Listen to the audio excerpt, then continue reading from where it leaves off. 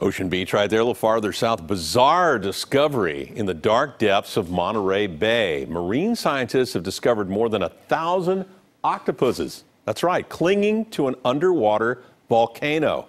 Who knew? The area is some 75 miles offshore, part of the marine sanctuary. KPIX 5's Len Ramirez says what's interesting is what the creatures appear to be doing. Take a look.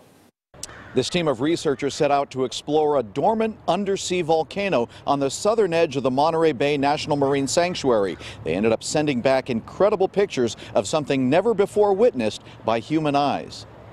Oh, there's, oh, some, there's eggs. some eggs. A lot of eggs.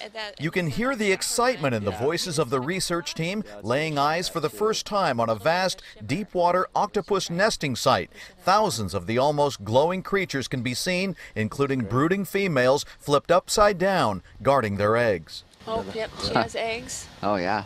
Is this enough octopus for you, Joe? The discovery was made by a team from the Monterey Bay National Marine Sanctuary. They were aboard a research vessel operating a remotely controlled underwater vehicle which captured these images. This is uh, an event that's never been seen before. Not this many deep water octopi brooding on eggs at this depth of water, 12,000 feet down. The team was on a mission to explore the Davidson Seamount, a dormant underwater volcano about 75 miles west of Hearst Castle. The octopi seem to be nesting along fissures in the rocks, leading to speculation they might be getting extra warmth there.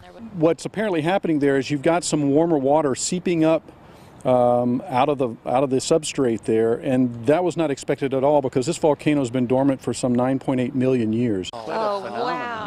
What they do know is that females can sit on their eggs for four years before they hatch, so being in slightly warmer water might cut their brooding time or make their offspring more healthy.